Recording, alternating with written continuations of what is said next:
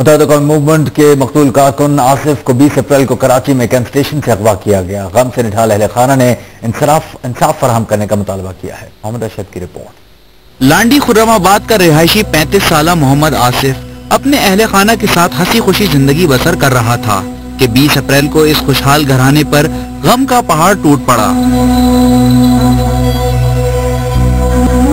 मोहम्मद आसिफ 20 अप्रैल को पुरस्कार तौर पर लापता हुआ और डेढ़ माह बाद उसकी लाश Shah Latif town link road से मिली। आसिफ के गमजदा वालदेन कहते हैं, हुकूमत बेटे को तो ना बचा सकी, कम अज कम इसके कातलों को ही गिरफ़्तार कर ले।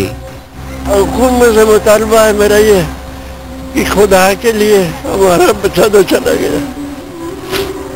लेकिन कम से कम इतने कर देगी कातिलों का पता चल जाएगा कि मेरे बेटे को किसने मारा है। हम उसको कुछ नहीं करेंगे खाली एक लफ्ज पूछेंगे उससे कि हाँ भाई गलती बताओ मेरे बच्चे का। मोहम्मद आसिफ के दो कमसिन बेटे और दो बेटियाँ हैं जिन्हें अब भी अपने बाप की मौत का यकीन नहीं। मेरे पापा का क्या कसूर था? उनको सब कत्ल कर दिया गया उनको अगवा क्यों किया गया था दो महीने से वो लापता थे मुझे नहीं पता मुझे इंसाफ चाहिए। अब मेरा क्या होगा? मेरे छोटे बहन भाइयों का क्या होगा?